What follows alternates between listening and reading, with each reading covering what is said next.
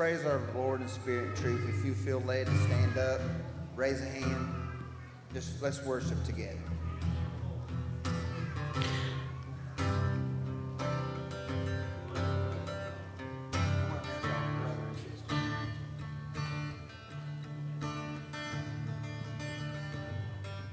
I'm going to announce this singing group as brother and sister.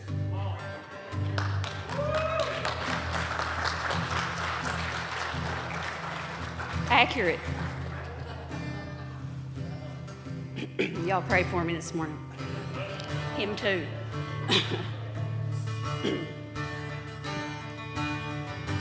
Letting go of every single dream. I lay each one down at your feet. Every moment of my wandering never changes what you see. I've tried to win this war, I confess. My hands are weary, I need your rest. Mighty warrior, king of the fight. No matter what I face, you're by my side.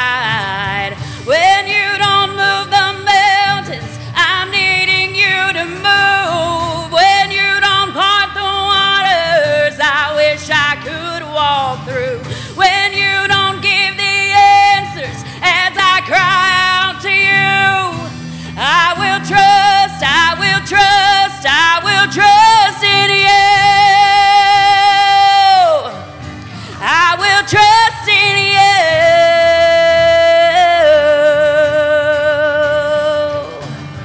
Truth is, you know what tomorrow. Not a day ahead you have not seen. So, in all things, be my life and bread. I want what you want, Lord, and nothing less. When you don't move the mountains, I'm needing you to move. When you don't part the waters, I wish I could walk through.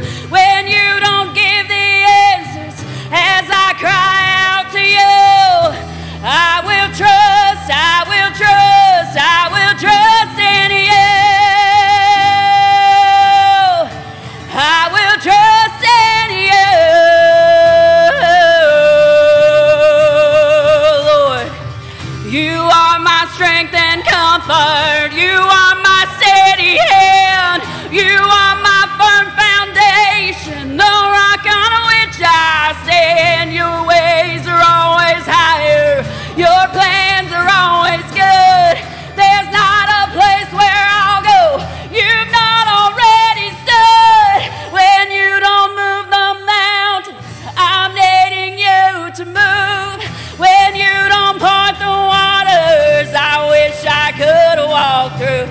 When you don't give the answers as I cry out to you, I will trust, I will trust, I will trust in you. I will trust in you.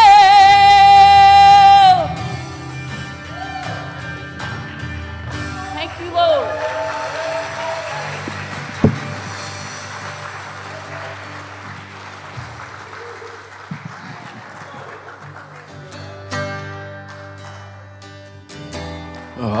Throughout my history.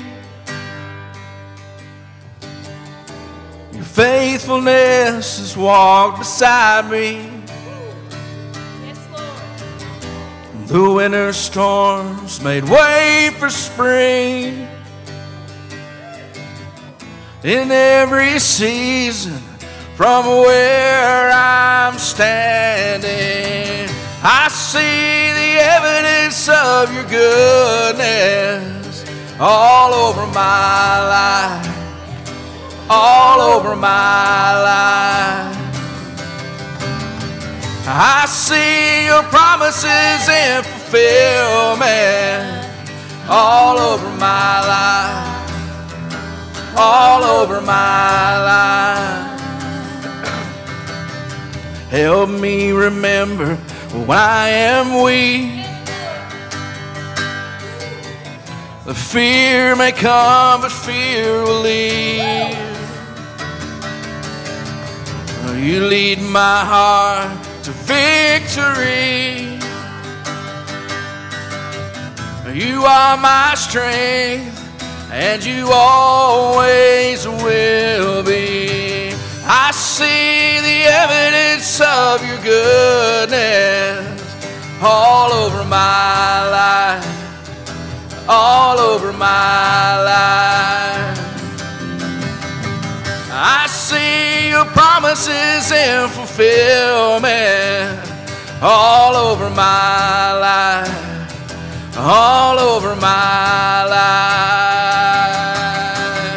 I see the cross, the empty grave, the evidence is endless. All my sin rolled away because of you, oh Jesus. I see the cross, the empty grave, the evidence is endless. All my sin rolled away because of you, oh Jesus.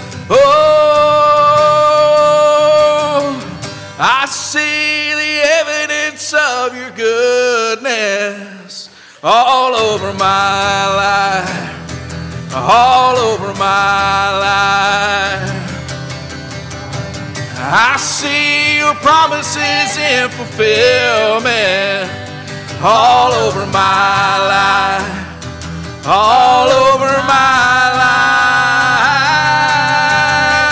I see the evidence of your goodness all over my life, all over my life. Promises in fulfillment all over my life, all over my life. Why should I fear the evidence is here?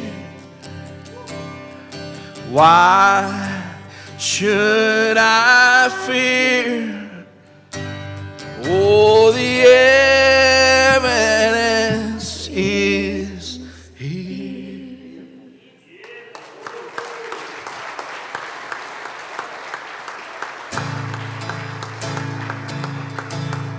I searched the world, but it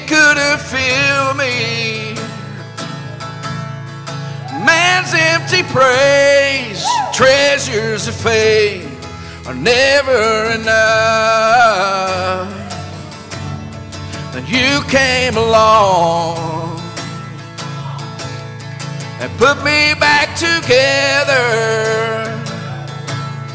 And every desire is now satisfied here in your love. Oh, there's nothing better than you. There's nothing better than you, Lord. There's nothing, nothing is better than you. Now I'm not afraid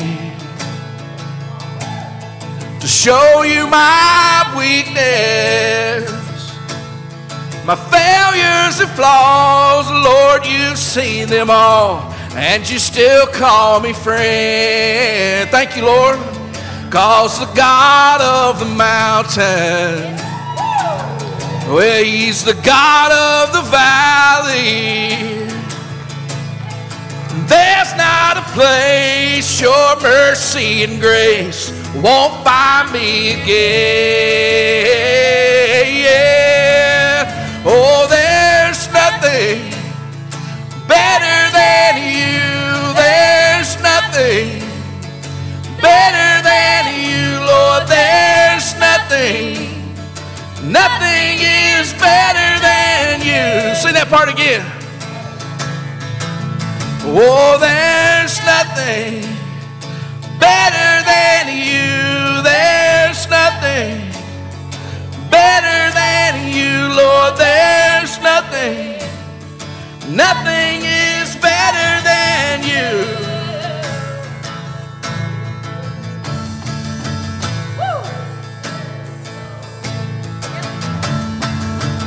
You turn mourning to dancing. You give beauty for ashes. You turn shame into glory. You're the only one who can. You turn mourning to dancing. You turn mourning to dancing. You give beauty for ashes. You turn shame into glory. You're the only one who can. You turn graves into gardens. You turn bones into armies. You turn seas into highways. You're the only one who can. You're the only one who can. You're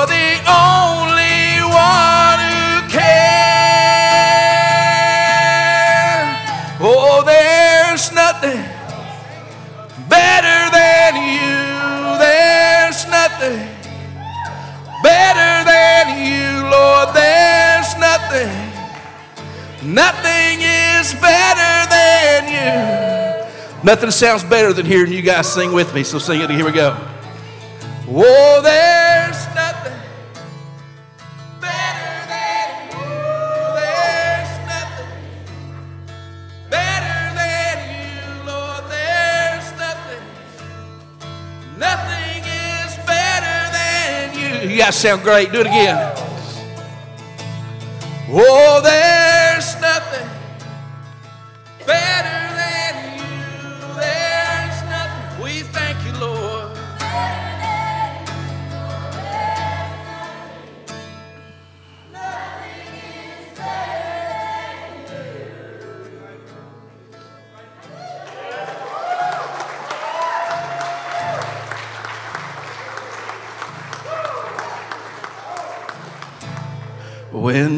darkness tries to roll over my bones, But when sorrow comes to steal the joy I own, But when brokenness and pain is all I know, oh, I won't be shaken. No, I won't be shaken.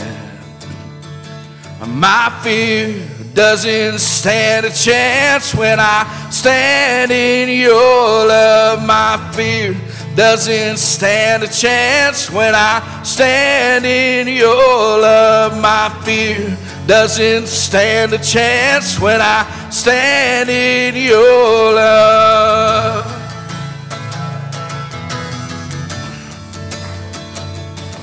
No shame no longer has a place to hide. And I am not a captive to the lies. I'm not afraid to leave my past behind. Oh, I won't be shaken. No, I won't be shaken. My fear doesn't stand a chance when I stand in your love. My fear doesn't stand a chance when I stand in your love. My fear doesn't stand a chance when I stand in your love. Oh, there's power in your love. There's power that can break off every chain. There's power that can empty out a grave. There's resurrection power that can save. There's power in your name. Power in your name. My fear doesn't stand a chance when I stand in your love. My fear doesn't stand a chance when I stand in your love. My fear doesn't stand a chance when I stand in your love. Oh, I'm standing in your love. I'm standing, I'm standing in your love. So,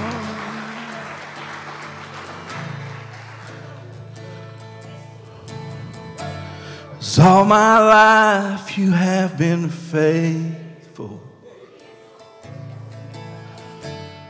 All my life you have been so so good.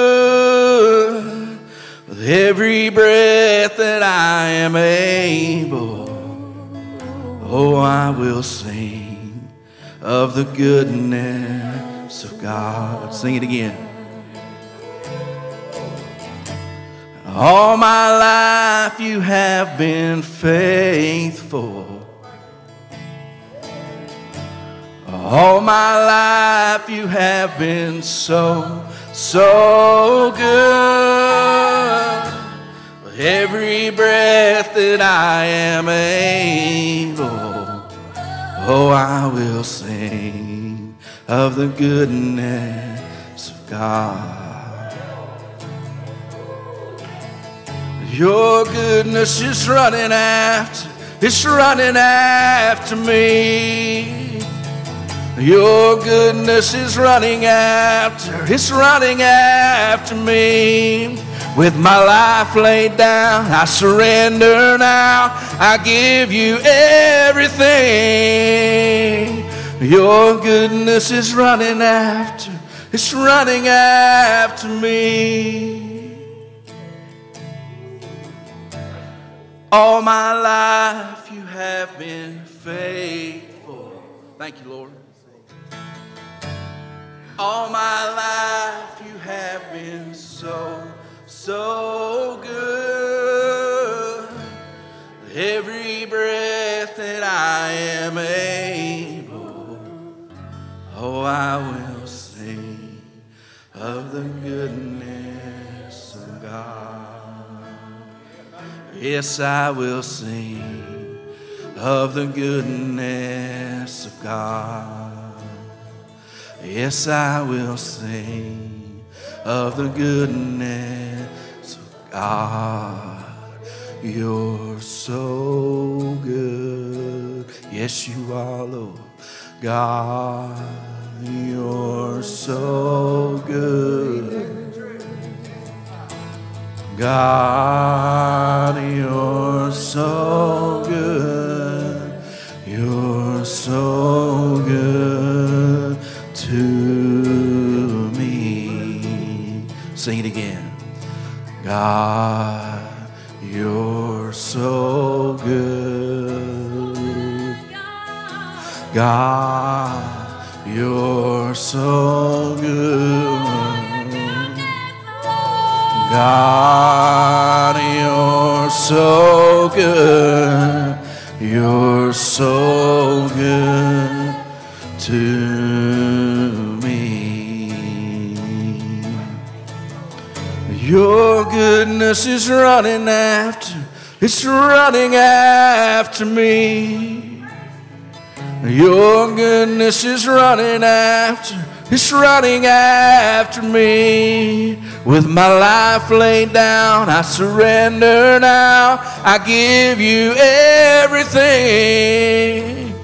Your goodness is running after, it's running after me.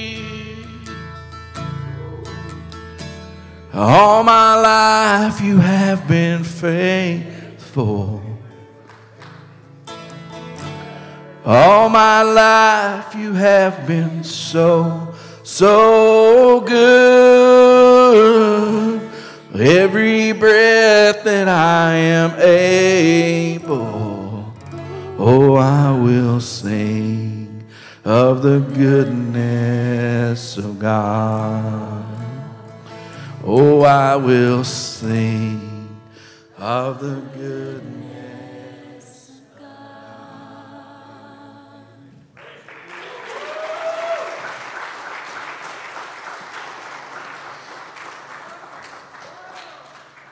God. Pastor, you want to come up and say anything, a few words? Before Pastor says a few things, I forgot one, uh, one important prayer request. Um, and sorry, especially if they're listening to it on live. Uh, you know, Brian, Deanna, the twins, um, and then two other churches, um, Connection, and there's the church down on Millard. I wish I could remember the name of that. But those, those girls are participating in the All A State Kentucky Golf Tournament today. My son's down there with them, and uh, we just want to make sure that they represent the Lord today, and that the only thing that they have in mind is sharing Jesus. I know that's how those girls work, and uh, that God will give them a safe return home. So let's pray. Oh, I miss I miss them all today, but y'all to Four. Oh, Uno Moss, I guess. I'm going to sing one a cappella. I apologize in advance. Shackled by a heavy burden, neath a load of guilt and shame.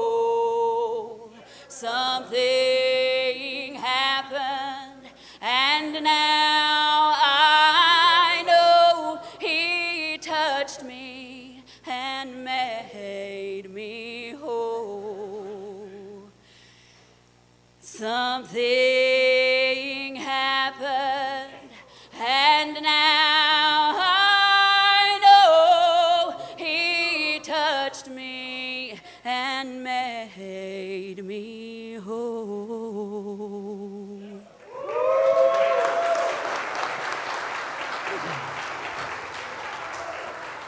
And Jesus said, Who touched me? Who touched me? He said, Lord, how we know who touched you with all these people? He said, I felt virtue go out of my body. Woo, boy, I feel power here this morning. Praise the Lord.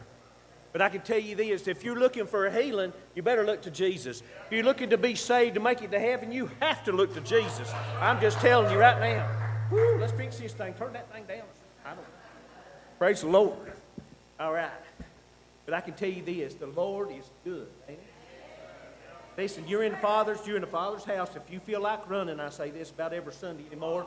Everybody run in a clockwise pattern so we won't run into each other, okay? That's all right, because running ain't out of order as long as you're doing it for the Lord, okay? If you raise your hands, raise them because you feel this thing. If you shout, you're shouting to Jesus and not me. And not only the Lord's what matters. Please Him, when we've done our job, we go to the house, and we're praising the Lord. amen? How many this morning been praising God at your house? Come on. How many? Okay,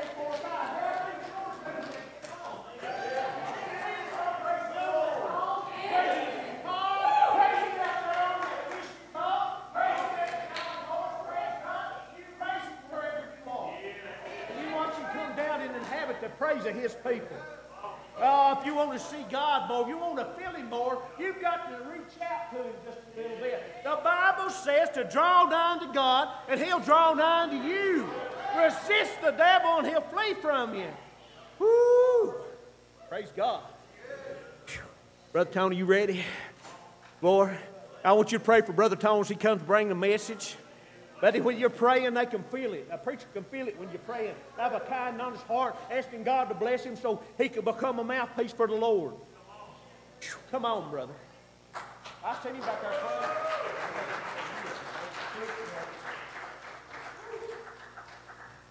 It's already been a good place to be this morning, and uh,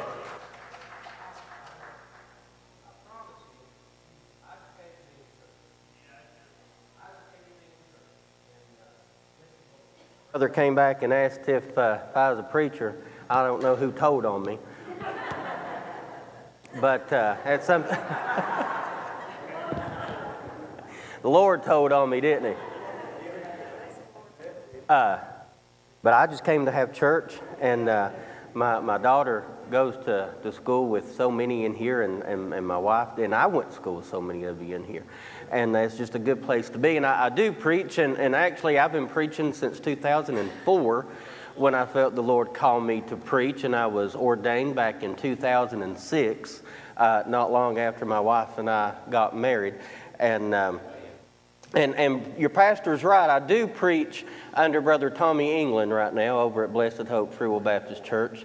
But now, I like to tell everyone I started under Brother Belmont Johnson. Anybody remember Brother Belmont Johnson? And uh, he, he took me under his wing several Well, he didn't have a choice. I married his granddaughter, so he didn't have a choice uh, but, but to accept me in. And he told me when I announced that I was feeling called to preach, thank you, brother. He said, uh, I told him on a Sunday morning, and he said, Why don't you preach tonight? I said, That's not much notice. He said, If you're called to preach, you don't need one. And I've never forgotten that. He said, Be ready in season and out of season. And, and so I've, I've always been ready. And when we left this morning, I grabbed my Bible and, and I had that, that still small voice say, say, get your notes. Just, just grab, grab everything. Uh, grab what you got and, and just go to church. So, so that's why I'm here. And uh, I'm very glad to be here this morning. And, you know, I, I could listen to Brother Jason preach too. And he probably, I don't know if he remembers this or not but uh, and, and I still have it at home. But you see, about 10 years ago this month, I didn't have a hair on my head or my face.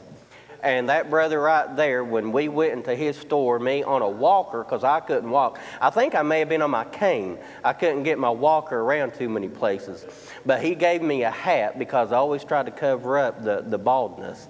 And he gave me a hat, and I have it to this day. And he saw me with it later. He said, I, see, I said, Yeah, that's, that's mine. That's mine now. And, and brother, I'll never forget that. And thank you for that. Because uh, about 10 years ago, I couldn't walk, and God had other plans. And about the same time, they told me that I would never have kids. And my wife is sitting back there with both of them this morning. And, and she's, she's starting to cry right now. She's starting to cry. She's got the tears already. And so, you know, for all that God has done for me, the very least that I can do is live for Him. And um, I preach His Word not because it's something that I want to do. Nobody steps into this out of pure want. It, it's something we have to do because God tells us to. And if you got any sense about, about you at all, when God tells you to do something, just do it just do it. And, and so this morning, the, the message that I've had all week, and, and I didn't have anywhere to preach this morning scheduled.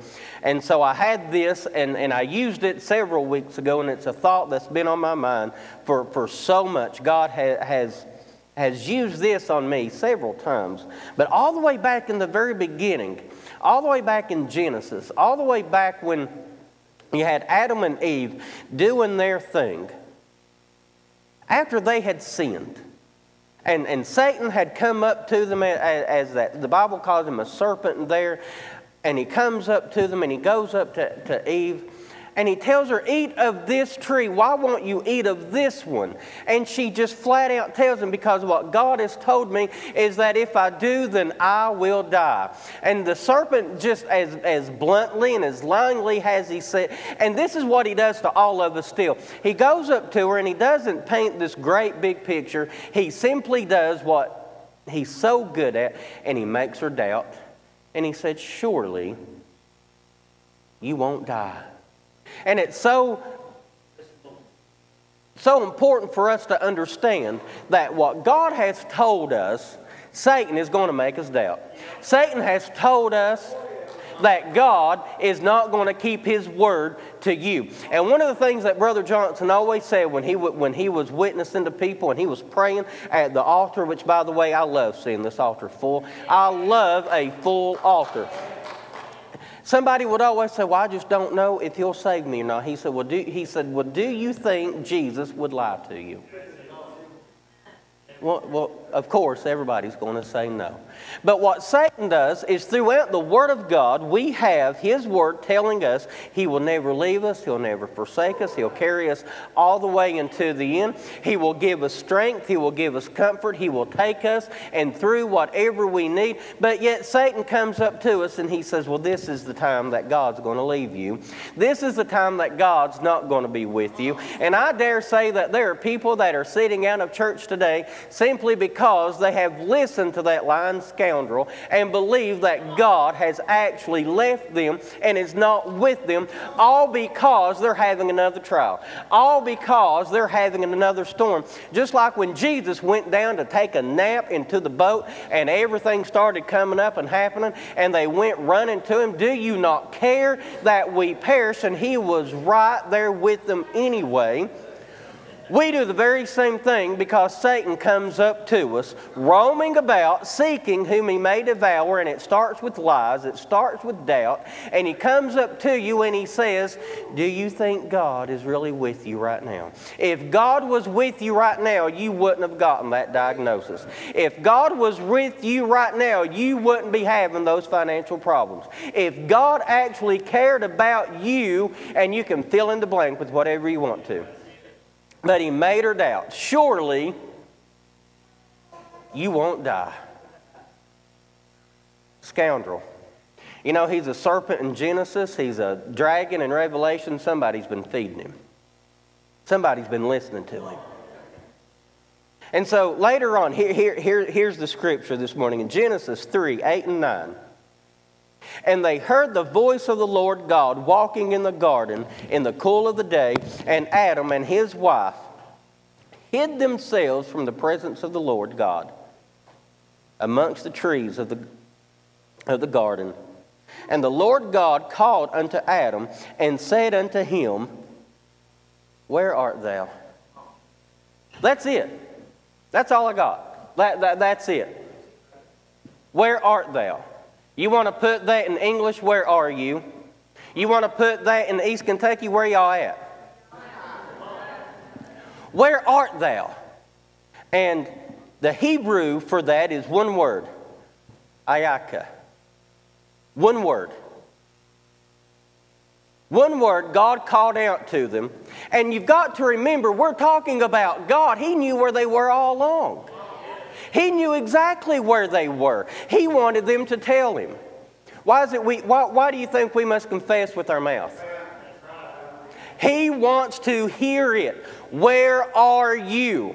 And now you can take that physically, you can take that emotionally, you can take that spiritually. Because we all know where we are physically. We're at Caney Creek Church. It's a great place to be this morning. But, preacher, I'm not where I need to be spiritually. It's a great place to be at the same time because you got people here that will pray for you. You got people here that will pray with you.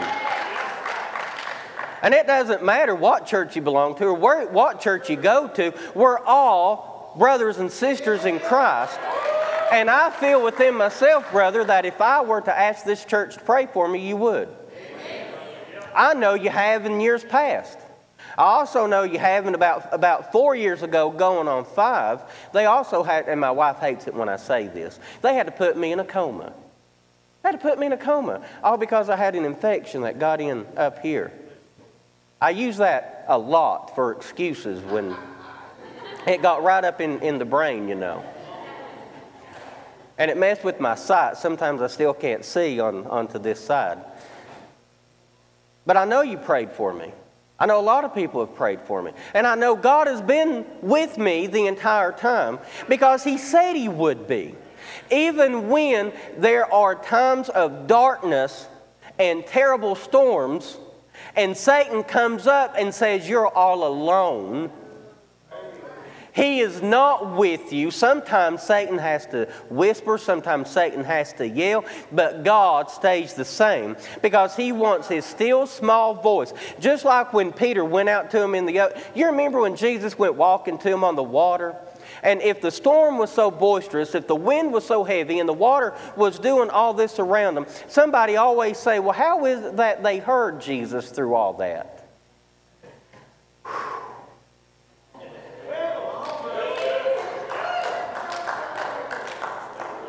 My, my sheep know my voice. And I know them, he said. And they, and they had to listen for Jesus, that still small voice when he says, Come and come. The shortest invitation in the Bible. You, I've been in church services that will have an hour long invitation. And finally, in that 59th minute, somebody will finally come down to the altar. I've been in church services that skip uh, an invitation altogether. But you have Jesus with that short invitation. Lord, if it's you calling me to you, Lord, if it's you calling me to be saved, if it's you calling me to give my life to you, to seek forgiveness of my sins, call unto me, let me come unto you. And all he, ha- he says, come. That's all it takes. We're, we keep waiting for something miraculous to happen. Something miraculous happened on the cross. That's all it needed. That's all it took. That's where the miraculous event took place. From there on out, it's all up to us just to accept. He did the hard work. For years, I've heard people try to add to it. Well, you've got to do this. Well, you've got to do that. Well, now I think you've got to go here and you've got to go there. The hard work was done on the cross of Calvary when Jesus hung between heaven and earth and he allowed the nails into his hands and his feet. And he said, It is finished. He was nowhere near done with you, but the plan of salvation had come full fold. What needed to take place for us to be saved took place on that cross. But God went walking into them in the garden and said the one Hebrew word, ayaka. And I believe that you could take our entire theology you could take our entire belief system into that one word. That's getting pretty deep. That's getting pretty deep. This is a thick book. This is a thick book. This is, this is a Bible that I got. Uh, my wife makes fun of me. I got a lot of Bibles. She's got a lot of purses. I got a lot of Bibles. Guess which one's God's more pleased with? And I also say those things knowing good, I know full and well I'm going to have to answer for them. And I don't mean in, in when I leave the world, I mean when I leave the building, I'm going to have to answer for them. But I got this one back about four years ago. This was a Christmas present to me. She said, I don't know what to get. You just get what you want. So I had this one specially made. And that is when I got so sick and I had to be put in the hospital and, and I spent four days into a coma. And then I remember when I came home after those days, I remember, think, I remember seeing this Bible right where it was on the, on the table where I'd left it. And my eyesight hadn't fully regained at that point. And I remember thinking, Lord, just let me read it again. I've not got a chance to fully enjoy. Let me read it again. Ain't he good this morning?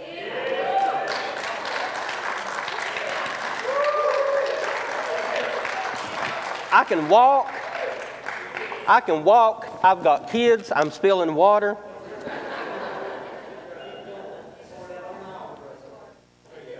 I can walk, I've got my kids, I've got my wife, I can, I can see.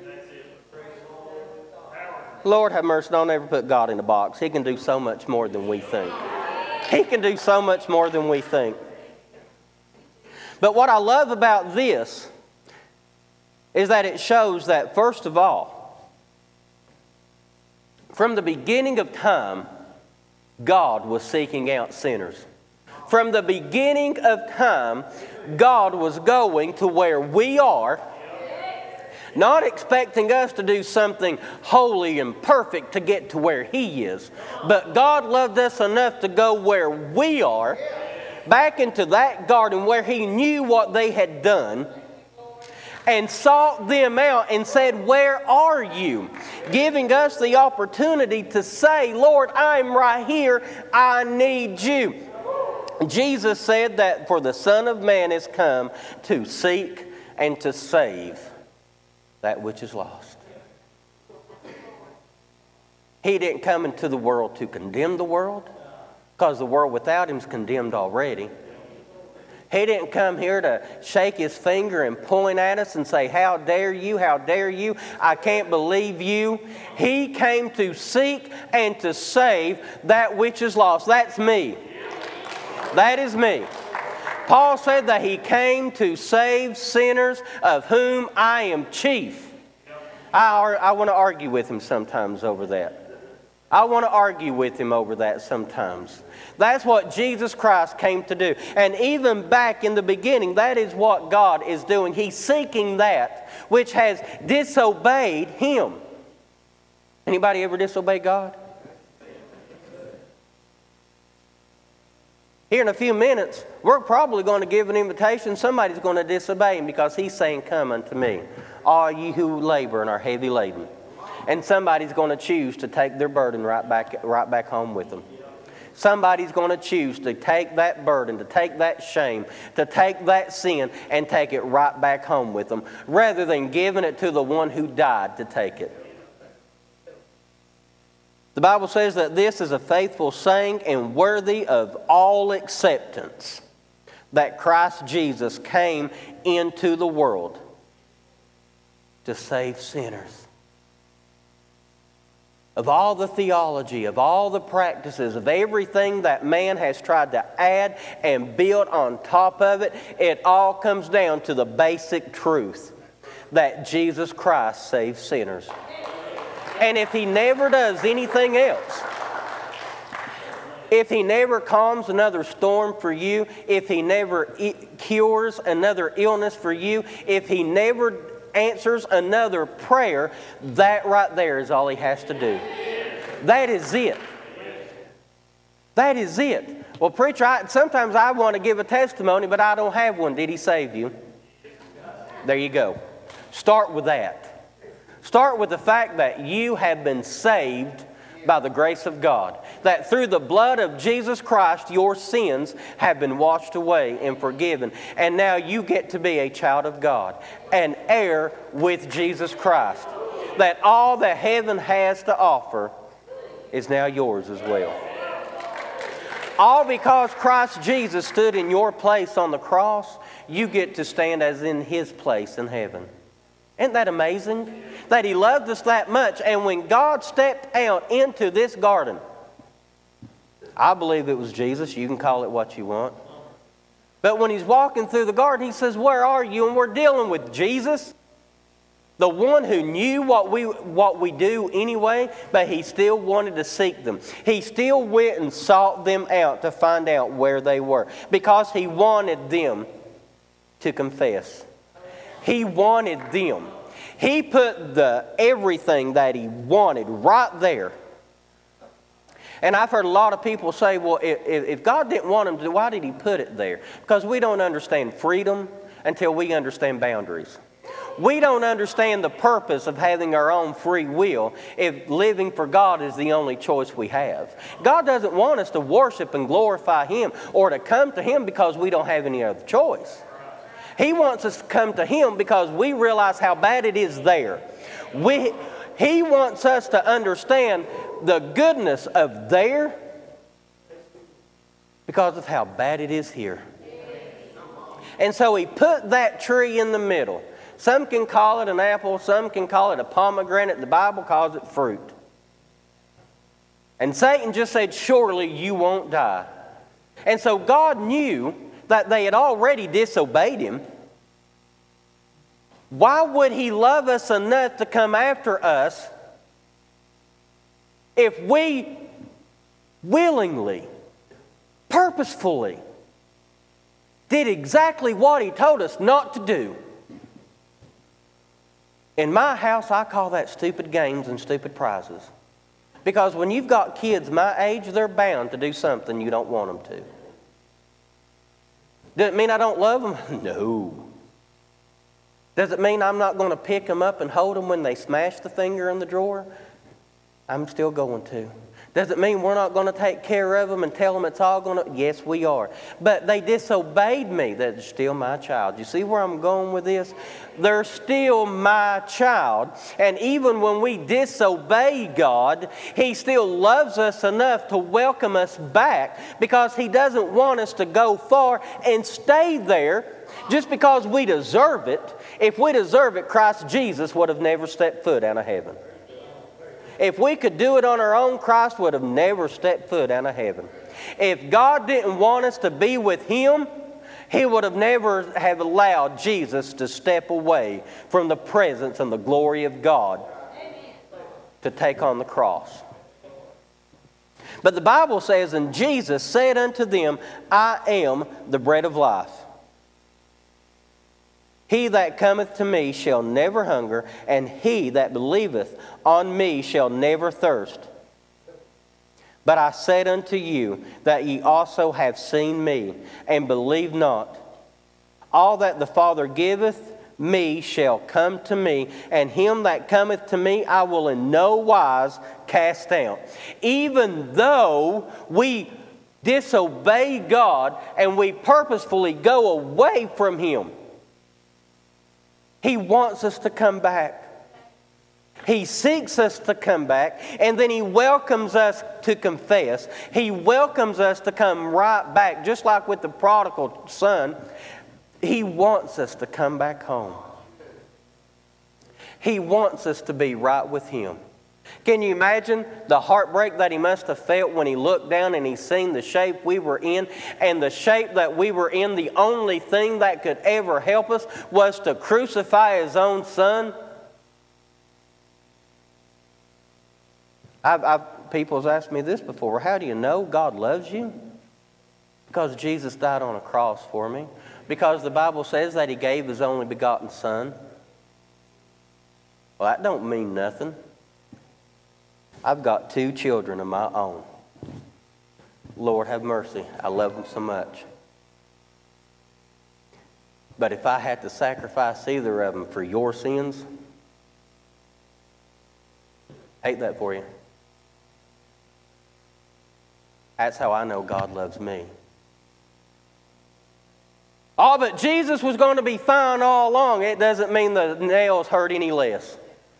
But Jesus knew that he'd come again three days later. That doesn't mean he didn't feel the pain of the tomb. That doesn't mean he didn't feel the sting of death. He didn't feel the temporary victory of that tomb when they laid him right down in it. And he stayed there in darkness alone and he hung on that cross between heaven and earth with his blood pouring for us. All because he looked down 2,000 years later and he saw somebody that would need to be saved. And I also know He loves us for this. I know He loves me for this because if I was the only person to ever call upon Him to be saved, He still would have done it. If you were the only one to ever be saved, Christ Jesus still would have took on the cross. Jesus said, Come unto me, all ye that labor and are heavy laden. You think you're not welcome to God? You think God isn't begging you to come to Him? God knows. Not even the angels in heaven knows when that time is going to come. But God does. And just like brother said earlier, it is not his will that any should perish, but that all should come to repentance. You know what all means? It means you, it means me, it means everybody. That all should come to repentance. What's He waiting on to take us home? It might be you. What's He waiting on before He says, Son, go get your children? It might very well be you. Because you are the one who's away from the fold. You are the one who is away, and God is seeking you. And He says, Where are you? because He wants you to announce to Him where you are, and where you are is away from God. And He says, Come back. He says, Come unto me, all you who are heavy laden, who are burdened, who are beat down. Not the ones who's got it all figured out. Is that anybody in here?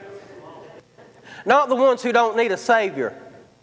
Not the ones who has it all packaged and, and the, with neat little bows. Not the one who's got it all figured out the ones who are weary, the ones who are tired, the ones who just need God to pick them up and carry them the rest of the way. I fall into that category. That's me. I need to be carried. Not just hold my hand, precious Lord, but sometimes I need you to pick me up and hold me just like that sheep and carry me for a little while, Lord, and carry me for a little while because God desires our restoration. God wasn't happy that Adam and Eve was away from him. God's not happy that we are away from him. God's not happy that you are away from him. He wants you to be restored. He wants you to, Lord, that song they sang, I, God bless your all's heart. Y'all did great this morning.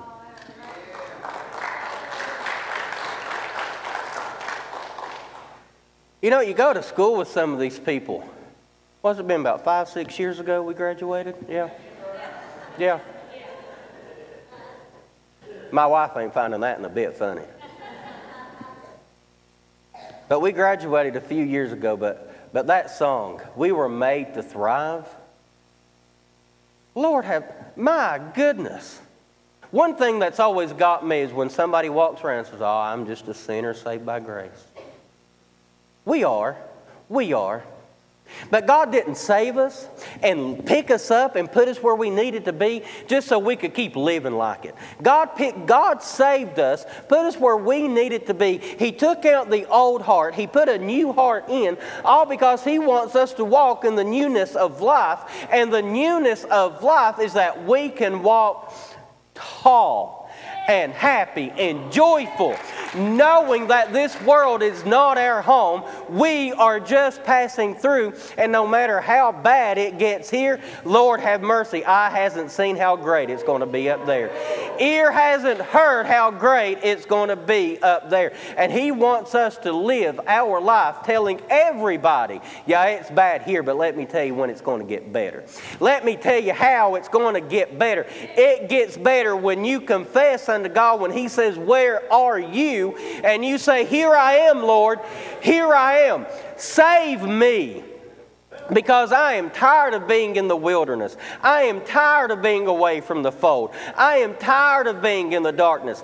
I am ready, Lord, for you to save me, to make me a new. That's what the Bible says. We are a new creature in Christ, in Christ Jesus. And we can be joyful. We can be happy. We, can, we ought to be the happiest bunch of people on God's green earth because we're saved. We're saved.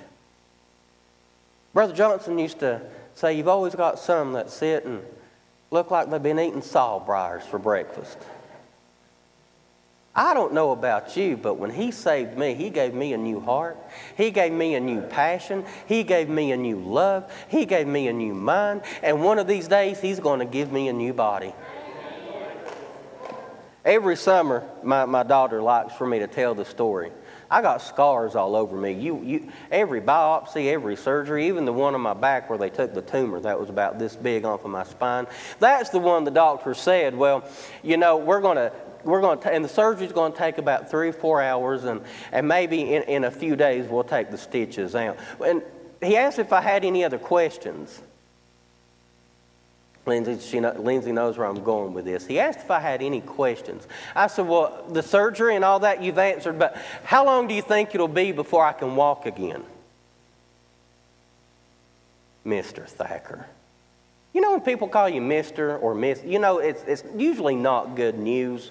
It's usually bill collectors or somebody wanting something. We don't think you'll ever walk again. Really? We don't think you'll ever walk again. I remember the look on my wife's face.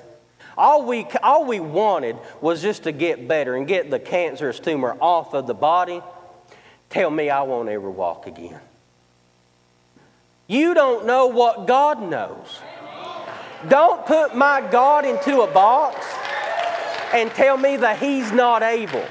Don't tell me that God is not able. Because there's someone here that's saying, Well, God won't save me. You don't know what I've done. You're right. I don't know what you've done. But God knows what you've done, and He's seeking to save you anyway.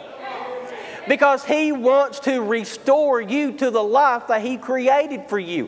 He didn't create you so that you can live a life in shame and in guilt and in sin. He put Jesus on the cross of Calvary so that we could walk in the newness of life. And the Bible says, therefore, as by the office of one judgment came upon all men uh, to condemnation, even so by the righteousness of one the gift, free gift came unto all men unto justification of life. For as by one man's disobedience many were made sinners, so by the obedience of one shall many be made righteous. By what Christ did, we become righteous. By Him. Don't ever think it's by anything you've done. Don't ever think it's by how much you tithe or by how much you attend church or by how many times you get baptized. Don't ever think it's by anything you've done other than what Christ Jesus did. Brother, am I wrong? It's all about what Christ Jesus did on that cross. And then it goes on to say, and I love this, but where sin abounded, grace did abound, much more abound. Wherever there is sin, and however great the sin is, no matter how great and huge the disobedience of God is, grace covers it. Grace covers it. No matter how many times we shake our fist and say, I don't need God, grace covers it. No matter how many times we walk away from God or willfully sin against God or say, I don't need God, I don't need the cross, God is right there with grace covering it all. Wherever your sin is, His grace covers it. And then He works His redemption, being confident of this very thing that he which hath begun a good work in you will perform it until the day of Jesus Christ. He's not, he didn't want to leave you in your sin then, and he's not about to leave you now. The storms may rise and the waves may blow, the wind may be boisterous of everything that we have to endure. Somebody once asked me, why do we have to go through all this? If we had it so good down here, we wouldn't want to be there. And of all the things you've been through, your cancer, you're, you're not able to walk, all this, don't you ever, don't you, don't you just look forward to the day you can look at Jesus and say, why did I have to go through all that? You know what I'm looking forward to? I'm looking forward to the day that I get to kneel at the feet of Jesus. And nothing that I had to go through here will ever cross my mind again. When my daughter asks me every year why I have these scars on my body, there's going to come a day when I get a new body and I won't have the scars anymore. And the only scars that I'm ever going to care about there is the scars on the hands of my Savior because that's how I got saved. That is how Jesus Christ was able to take my sins away because He took my place on the cross. Preacher, you sure take it serious. You better believe I do. Because when he hung on that cross, he knew I needed a Savior. When He hung on that cross, He knew that you needed a Savior and He called you out by name. And He's calling you out by name right now to be saved. Who hath delivered us from the power of darkness and hath translated us into the kingdom of His dear Son, in whom we have redemption through His blood. And praise God, Whew. even the forgiveness of sins. I'm going to get to stand before God. One of these days, I'm going to get to kneel at the feet of Jesus. And ain't nothing here going to matter. I'm not going to think about all this. I'm not going to think about all the pain and the sickness and the heartache and the disease and the suffering and all that we have to go through. Because Jesus says there's a better way, there's a better life that this world can offer, this world will never offer. You'll never find what Jesus has. It's in Him. And when we're there, I'm looking forward to that street of gold. I'm looking forward to the, to the gates of pearl. I'm looking forward to all of it. I can't wait to see it. But if none of that was there, if none of it was there, Jesus is. That's what makes it heaven. Because where Jesus is, there's nothing else that's going to bother you. Where Jesus is, the pain and the suffering. And I don't mean to make light of it. If you think, I'm, I promise I'm not. But no matter how great your suffering is this morning, no matter what you've got coming up this week that's making you a nervous wreck today, no matter what you've got coming up in the next couple of weeks or the next couple of months that is causing you to lose sleep at night, I'm not trying to make light of it. I'm trying to make great over the power of Jesus because no matter what it is, Jesus has it covered. No matter what you're afraid of, Jesus has defeated it. No matter what might come your way, Jesus has it under control. No matter what it is, it's Jesus. Jesus, the sweetest name I know. And if there is one thing that I can leave you with this morning, it's Jesus. It's Jesus. Because even from the very beginning, he was seeking to save. Just like right now, he is seeking to save.